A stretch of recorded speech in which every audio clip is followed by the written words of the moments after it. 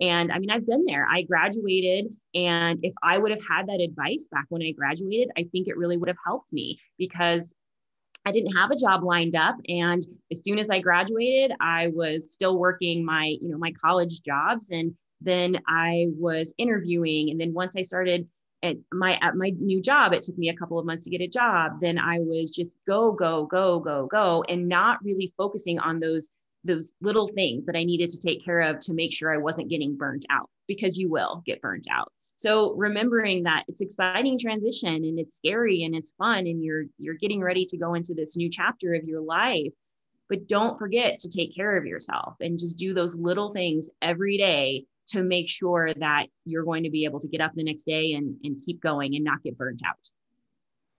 No, I definitely feel that. I feel like it's like it's almost like a balance of being prepared for the future, but like staying in the moment. Like I understand what you mean, far as just the whole bit about you know not having a job lined up after college, and that's part of it because you're too in the moment, and you're like, I'm just trying to get out of school. Like I need to pass this class and that class and that class, and you whether you stress yourself out or not, you're so like focused on the task at hand that like you don't realize that you still have so much, you know, more to worry about. So I definitely think that happens, uh, you know, to a lot of people.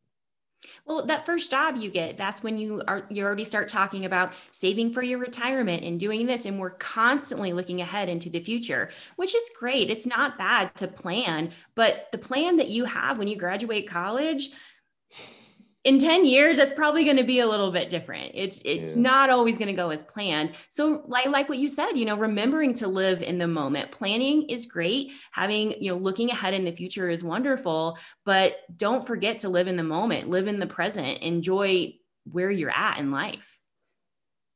I i can i can definitely agree. I i don't know what the correct saying is. I hope i don't butcher this but I know my uh, mentor, he tells me like, yes, you want to always apply pressure and, you know, work hard. But sometimes when you get certain wins in life, it's okay to look in your rearview mirror. Like it's okay to like take a second, stop, and like, oh wow, like I just did that. Like that wasn't easy. Like it could be simple as like graduating college or you know getting your first job. Me is writing my first book. Like it's okay to just be like, oh wow, like I did that celebrate those successes. Absolutely. Celebrate them, pause, enjoy it, be proud of yourself, and stop always looking at what's next, what's next, what's next, and just and live in that moment. It's very important.